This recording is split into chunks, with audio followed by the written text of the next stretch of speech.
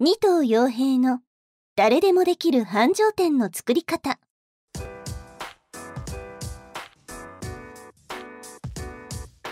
二頭傭兵の誰でもできる繁盛店の作り方では都内で床屋を5店舗経営。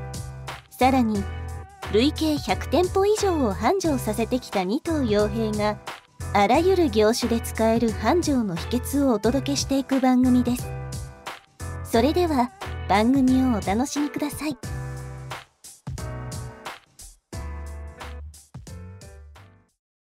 こんにちは、二藤です。こんにちは、インタビュアーの酒井です。それでは今日も金曜日ということで、ポッドキャスト配信していきたいと思います。よろしくお願いします。お願いします。で今日はですね、まあ、最近の二藤さんみたいなテーマで、えー話していければと思うんですけれども、はい。えーまあ、どうでしょうか？じゃあまずお店の方からなんか最近こうあったことをお聞きできればと思うんですけれども、そうですね。まあ最近その物件探しとかをまあ相変わらずやってて、で、まあいいとこがあったんですけど、まあ結局ダメになっちゃったというか、あの審査が通んなくてというか、まあそこが結構まあ珍しいなんで大家さんで、あの十なんだろうな、ある程度いつまで申し込みをこう受け付けてて、その申し込みの中からあの一番いいところを選ぶみたいな。うん。で結構普通のあの不動産っていうか大家さんってあの早い者勝ちというかはい。早く申し込んできてある程度そこが、まあ、信頼がある会社であればもうすぐあの決まっちゃうっていうのが多いんですけど、そこが珍しくてそういう形で、まあ、どう転ぶか分かんなかったんですけど、はいはい。まあ、実はそこでもあのプレゼン資料とかはいはいはい。事業計画書みたいなその金融公庫とか普通金を借りる時に作るやつがあるんですけど、まあ、それとかも出したりとかあのうちの店の写真とか出したりとかはいはい。もしたんですけど、まあダメだったっていう結果ですよね。なるほど。まあ、やっぱり数字とかしか見られないんでその資本金が多い会社とかうん。ちょっと大手さんとかがもし入ってたら多分そっちを選んじゃったんじゃないかなっていうとこですかね。なるほどですね。うん。じゃあまあちょっと今回は、はい。残念でまあ、次の物件を。そうですね。また引き続き探してるっていうところですね。でやっぱりあれですよね。あの、まあ、僕今思ったのは。まあね今はそのまだその大手さんと比べると、うん。まあ、規模がもう小さくて、うん。その通りづらかったりもするかもしれないですけど、はい。もう着実にこうお店を出していってうん。なんかいつかはこうねそこと肩を張れるというかこうなんか比べられた時に、そうね。ここだったら大丈夫だなみたいな、うん。有名だしみたいな。そうですね。はい状態なるこのなんていうんですか上がっていく感がはい変わらないですよね。まあそうなんですよね。だからそのうまくいかないことっていっぱいあると思うんですけど、うん。あのまあ、それが楽しいっていうか,、うん、か何でもかんでもうまくいっちゃってたら、ん多分つまんないのかなって逆に思ったりもするんで今のその、まあ、よく言ってますけどそのアングラなとこで頑張ってるところ、ん。そこからメジャーにこう飛び出るようなことをまあやっていけたらいいなと思ってますね。そうですね。はい。なんかそういうストーリーのがやっぱ面白いじゃないですか。そうですね。まあ僕もそういうのが好きですしね、うん。あのその音楽とかヒップホップが好きな理由とかもそういうとこだったりするし、うん。まあ、そこら辺ちょっとねまた頑張ってやっていい報告ができたらなと思いますけどね。ね。はい。やっぱり、まあ、二藤さん自身もそうですしなんかねそのコンサルしてるお店さんも、うん。まあ、そういうふうに、ね、なっていけたらいいですよね。そうですね、うん。まあ、そういう店をね作っていきたいからあのこういう活動をねコンサルみたいな活動してるところもあるんで、うん。まあ、一緒になんか、まあ、有名になれたらというかねあのその地域であーまあ、小さいエリアでもそこでなんか一番のお店になってねもらえたらなと思いますけどね、そうですね。はい。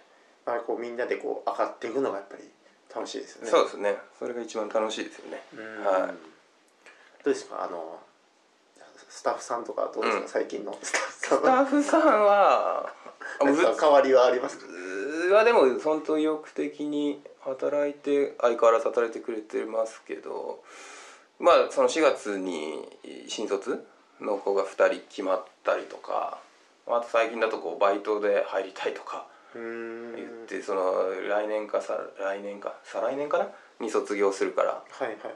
利用学校。うん。それまでバイトしたいとかっていう子も最近来たりとかして、はい。まあ、実は昨日面接したばっかなんですけど、はいはい。まあそういうふうに、まあ、ちょいちょい問い合わせとかは来てますけどね。そうなんですうよ、ん新しい人が、まあ、入るのが決まったりとか。そうですね、まあ、あとは実はね辞めたスタッフもいて 最近。あそうなんですか。はい。え。まあそれはもううんまあ僕の考えとか、まあ、うちのスタッフほとんどのスタッフ他のスタッフの考えと全然こう合わないというかのでまあえーお互い方向性が違うっていうかー、うん。ので辞めたんですけどね、結構長く勤めた方だったんですか？うん、いやその子はどんぐらいだったっけな？半年ぐらいですかね。へー。新卒の子で。あそうなんですか、うん。うん。まあいろいろ話し合って、はい。はい、うん、まあうちじゃない方がいいんじゃないのかなっていう話で。あそうなんですね、はうーん。なるほど。そういうのもあったりもしますね。出会いもありはい。別れもあり。別れもあり。なるほどですね、はいまあでもその方がいいんですよね。あのやめあの同じ方向向いてない子がうん。あんまりあのずっとこういさせても他のスタッフの悪影響になっちゃうというか、そうですよね、うん、やっぱストレスまあ言い方悪いですけどストレスになっちゃって、うん。うん、でこうどんどんどんどんそのやる気ある人たちほとんどがまあやる気ある子たちなんですけど、はい。そことのこうなんか格差というか、うん。差を感じ始めちゃってどんどん自分が居づらくなっちゃってるっていう状態になってたんで、まあ、だったら違う店の方がいいんじゃないかなっていうので、まあそれもこうねその求人っていうかねあのうちで働きたいっていう子が結構多いのでそんなにこう困らないっていうか、まあ、それがあるからこそ辞めさせられるっていうところもあるんで、まあ、無理にこうなんかこう合わない人をつなぎ止めておくこ必要もない。そうですね、まあ、やっぱ人件費もかかるわけなんで全然その辞めてもらっても構わないというか,、からそういった環境をねまあ皆さんこれ聞いてる方もなんか作ってもらえるといいかなとは思いますけどね。そうですね、はまあ、売り上げにしても、まあ、人にしてもやっぱりこうなんか余裕がねある状態だとい。いいのかなと思うので。うん、っていう感じですかね。はい。皆さんわかりました。そしたらじゃあ、えーまあ、コンサル活動というかはい。の方はいかがでしょうそうですね。えーっとまあ今リアルタイムで運営してるそのコミュニティですよね。その爆速繁盛クラブっていうコミュニティが、まあ、長妻さんとあの広告代理店の長妻さんとやってるコミュニティがあるんですけど、まあ、それが今どんぐらい？23か月ぐらい経ったのかな、うん。はい、でもなんかもうすでにこうね結果が出てる人が出てきて、まあ、それってこの店舗経営者とか店舗業をやってる人向けのその副業ノウハウとかその広告ノウハウとかを教えてるんですけどその副業で結構もう何万円とか月何万とか稼いでる3万4万とか稼いでる人が出てきて、まあ、なんかいい感じであの皆さん取り組んでくれてるなっていう印象ですね。僕はあのなグループページの報告版はいはい。見てると、結構皆さん結果が続出してて、まあ、まだね始めたばっかりなので、うん。まあ、数万円とかっていう金額ですけど、うん。いきなりこのね始めて1ヶ月、まだ、ね、今収録してるのはまだあの前回合宿から1ヶ月も経ってないんですけどそうですね。その期間で、うん。ほんと3週間とかですね、でもうね売り上げの結果が出ててまず、うん。まあ、01ってね、うん。なんか世の中よく言いますけど、はいは01がもう完了してて、いうん。あとはそれをこう反復反復していくだけで、うん。みんなこう金額もね増えていきそうだなと思ってて。そうですね。なんかすごいすごいことだなって、うん。ね。なんかほら長妻さんがね言ってますけどこのここれから教えることが結構重要で、うん。それをやることで、まあ、結構売り上げが伸びるって話もしてて、今はまあ結構まだ準備段階というかに近い状態で、もうその時点ででも売り上げが発生してるっていうのは結構いい感じなんじゃないかなと思ってて、うん。で結構副業とかをねやったことがない人はちょっとピンとこないかもしれないですけど、まあ、僕自身こう今までアフィリとか、まあ、転売だったりとかで56年前とかからやってましたけどやっぱその01っていうね、えーのが難しい1ヶ月目でね初月で何万稼ぐってすごい難しいことっていうのがよく言われてますけど、まあ、実際そういうところがあってネットビジネスとかって。なんで今回のその長妻さんのねノウハウっていうのはやっぱり早くその結果が出てすごくいいなっていうか、うん。うん純粋にいいなと思ってますけどね。最初ってやっぱりこのやり方もわからないし、うん。こうなんか力の入れ方もわからないじゃないですか,、うん。すね。このぐらいやったらこの結果が出るっていうのはうん言われるけどわかんないじゃないですか、うんうんうん。なんかね知らないこう場所に行く時ってこうやたら道遠いなって感じたりするじゃないですか、うんうん。でもなんか次からはねこう距離感も分かっているからそんな遠く感じないっていうのはあると思うんですけど、なんか副業もそうなのかなと思っててうん。やっぱりその一回こうやりきって結果を出すと、うん。今後も早そうだなってて、本当に、まあ、講師のね一人であの木村さんっていう方が、その方はねもう本当に、まあ、24歳の女性で、まあ、100何万とかねそうだね。毎月得ているそうですけど、うん。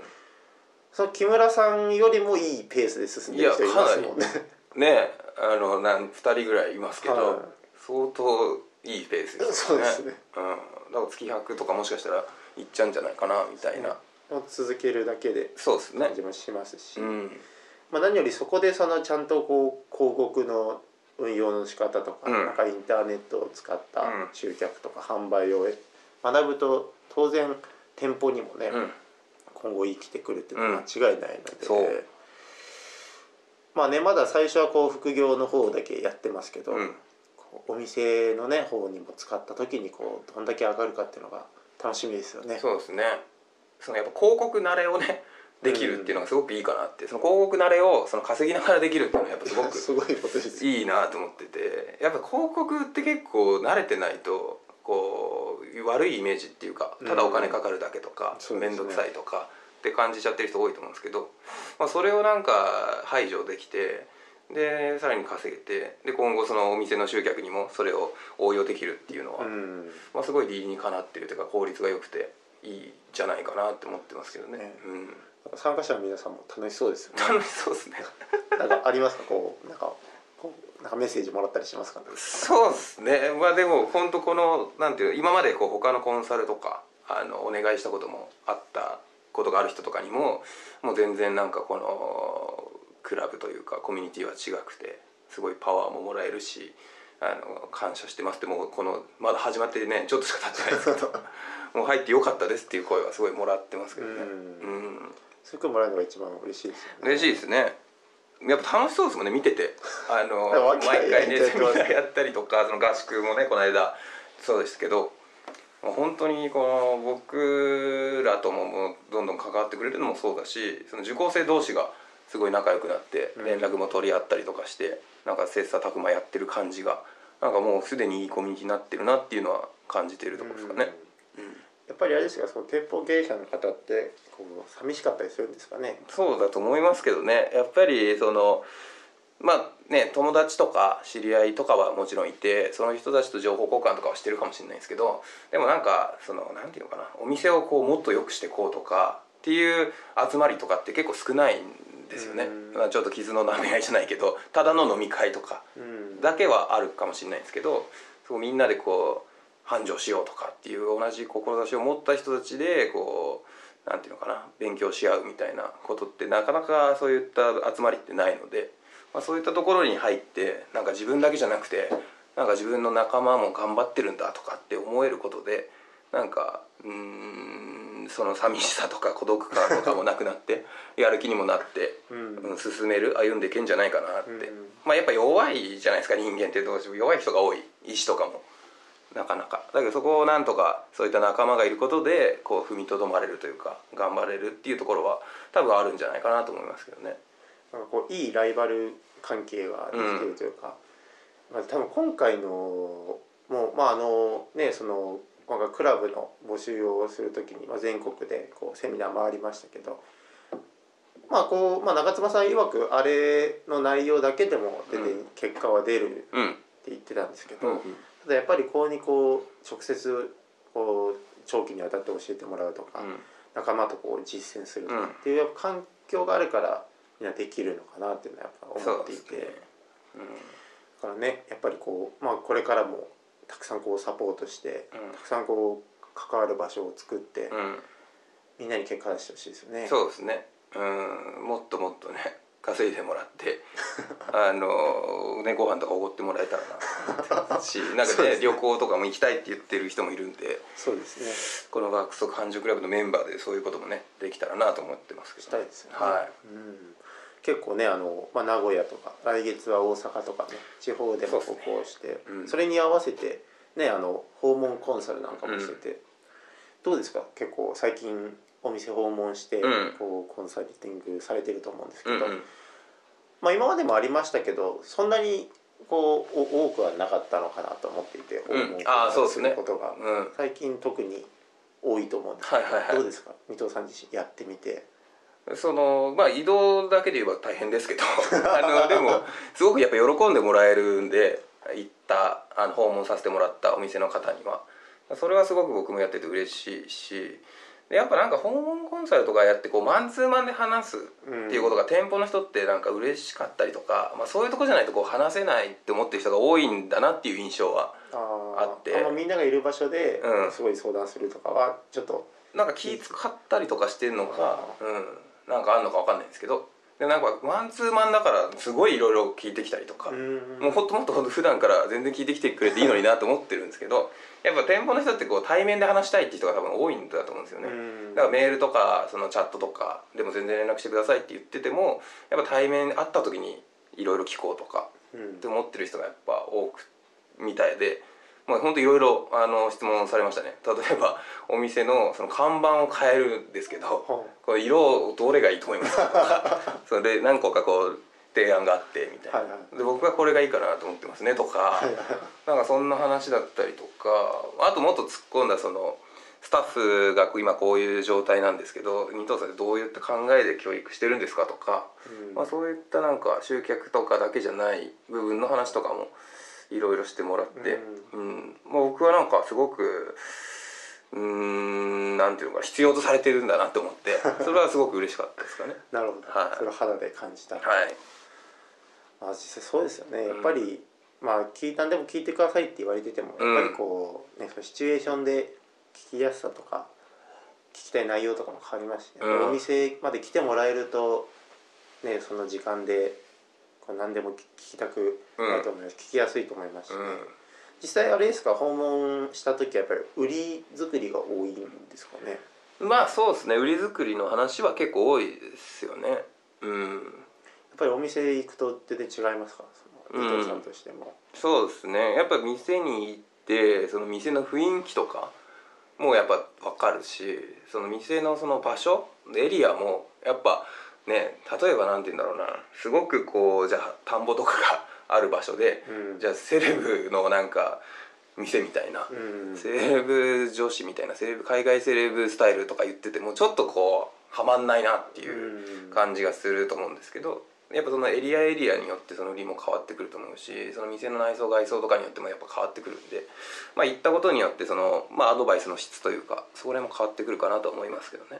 うん。うんなるほどじゃあよりこうお客さんにとって役立つというか、うん。まあ繁盛につながるアドバイスはやっぱり、まあ、まあネット上とか電話でももちろんできるけど、うん。よりこう訪問した方がまあ二藤さんとしてもやりやすいしお客さんも喜んでもらえるっていう感じですよね。うん。なんかそこら辺の近くにある店とかうん。もうなんか、まあ、この間行ったとこだとすごいオーガニックスーパーみたいのが流行ってて、もう行列になってるっていう、えで片やこっちのなんか普通によくあるスーパーは全然お客さん入ってないみたいーうん。な、なんでなんかそういうのとコラボしたりとかでも考えてますみたいな話をしてて、うん。まあ、それはすごくいいなと思っててそこにはじゃあそういったオーガニックみたいなことに対して求めてるお客さん需要っていうのがすごくあるっていうところなんで,、うん。でその美容室も結構そこら辺を打ち出してる美容室だったんで、はい。それはいいですねというか相性がいいですねみたいな話になったりとか。なんでそこら辺はもうちょっと売りとして打ち出したいですねみたいな話もしたりできるんでなんかやっぱり実際に店に行くっていうことによってその、まあ、よりなんていうのかな強固な売りが作れるというかっていうところはあるかなって感じましたけどね。なるほどです、はまあ、来月はねあの、まあ、大阪の、うん。まあ、爆速繁盛クラブの歩行に合わせてい、うん。また別のエリア行かれると思うんですけど、はいはい、まあ、そういうなんかいろんなところに行けるのもねまた二度さん的にも楽しいのかなと。そうなんですよなかなか普ね。段行かない場所に行けるっていうのがすごいね。だそういうことがない限り行くこと一生死ぬまで行くことないような場所も多分あると思うんで、うん。ね、今後もしかしたら岡山とかね倉敷とかあとなんだっけ。高松とかなんかそっちにもね行く可能性があるんでちょっと楽しみですけどね。うん、うん。っていう感じで、まあ、まあ楽しくはい。訪問コンサルしてますよっていう感じで。そうですね。ですね、はい。なんでまあ、まあぜひぜひあのねまあその例えば訪問してほしいとかっていう人がいたら、なんかメッセージとかね伊藤さんにしてもらえたらうん。まああの対応しますよって感じだと思うので、はい。聞いてみてほしいかなと思います。そうですね、うん。はい。まあ、また新しいね企画とかセミナーとかもあのやるんであのそこにもね来てもらえたら嬉しいなという感じですね。はい。はい。本当にねあの、まあ、先ほど二藤さんとも話しましたけどなかなか結構今後は結構いろんなイベントが目白押しっていう感じなので、そうですね、ははいまあ、前のバーベキューもねそうですけど、うん。まあ、そういったなんかなんていうのかな気軽に会いに来れるやつもそうだし、まあ、ちょっとしたそのセミナーみたいなワンデーセミナーみたいなのもやろうと思ってますしなんかいろいろなことを考えてるので、うん、まあ何かねこう自分にこれは必要そうだなとかなんかちょっと会いたいなと思ったら来てもらえたらなと思いますけどね。い、そうですね、はい。ぜひぜひ一度会いに来てほしいなとはい。思います。はい、じゃあというわけで今日はですね最近の二藤さん何してるのっていう部分について聞いてきました。はい。ありがとうございました。ありがとうございました。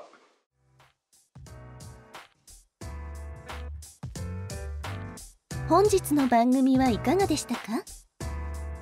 この番組を聞いてくださったあなたにプレゼントがあります。